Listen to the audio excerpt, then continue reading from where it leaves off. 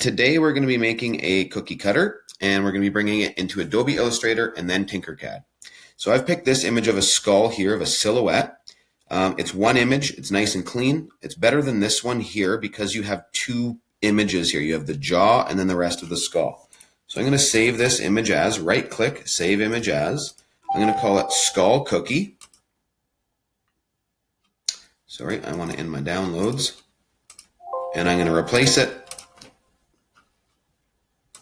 then I'm going to open up Adobe Illustrator, File, Open, and I want to bring in my skull cookie cutter. There we go. Now the first step what I have to do in Adobe is I click on my image, Window, Image Trace, hmm, make sure I'm clicked on my image. This advanced drop down is important. And I want to click ignore white and make sure that my mode is black and white. And then I'm going to click trace and expand.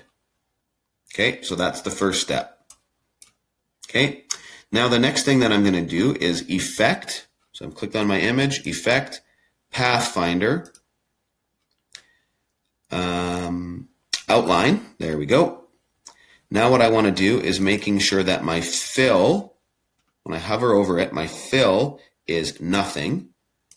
And my, if I hover over this, my stroke is black. For some reason, you have to do the stroke twice. It changes it to white the first time and then black. So now I'm going to maybe put that up to, say, three points for my stroke. So it's a little thicker. You see, if, if I make it too thick, it's pretty thick. So I'm going to keep that at three.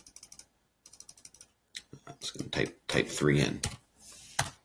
Okay, I've got that. Now my next step that I'm going to do is go to, um, I'm going to ungroup it and then I'm going to go to Object, Path, Offset Path. So Object, Path, and Offset Path, where is it? Offset Path to 0.06. Okay? And you'll see it makes kind of a double layer. So I've offset the path two different times there. Now we need two of these images. So I'm going to go File, Export As, and make sure it's a PNG. It's not a JPEG. We're going to make sure it's a PNG. Okay, and we're going to call it Skull Cookie 1 and export it. There we go. Now, what I need to do another time is I'm going to go File, Open, grab that same skull, so not skull cookie one PNG, the original file that I have, which was a JPEG.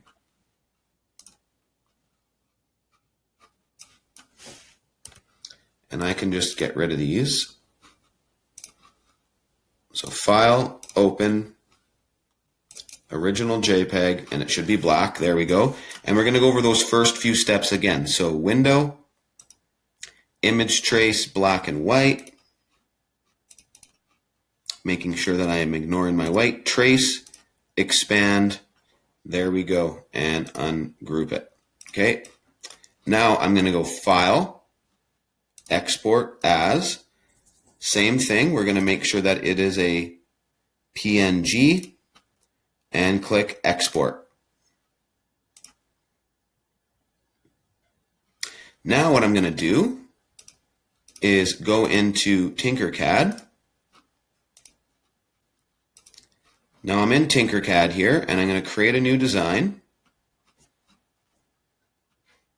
I'm going to make sure that I name my design. I'll call it Cookie Cutter Skull. Okay, now before I do that, what I need to go to is png to svg.com. And you're going to scroll down till you see here, and I'm going to choose a file. And I need to make sure that I'm getting my two PNGs to SVGs. So I got my first one. You only need one color. Generate. Download the SVG. So it's going to be called image to vector 1. Then I'm going to choose another file. And it's going to be this one here. And I'm going to generate download SVG, image to vector 2. So now I went from PNG to SVG. The reason we had to do that is Tinkercad only brings in SVGs. Now we're going to import those two files. So we're going to choose one file here and import. Wait till it loads. And then we're going to do the same thing for the next one. So that's really big. So I'm going to zoom out. I'm, going to keep it there so I'm making them at the same time. I'm going to go import. Now the next one here. Which one did I do? Uh, let's see. Nope, not that one. vector 1. There we go. Now they're both going to come in. They're going to be the same size. They're going to be way too big, but that's okay. So if I go Control A, I've got both selected. I'm going to hold Shift and just drag them a lot smaller and then bring them both to my artboard. Still a little too big. Now when you make these, you want them about 100 mils, which is, that's probably pretty good, which is about 4 inches.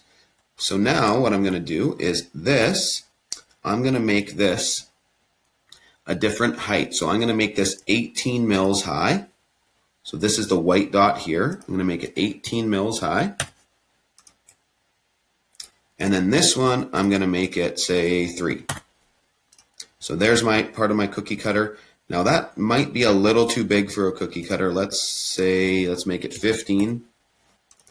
Now what I'm going to do is I'm going to grab both of those, align, center, center, group,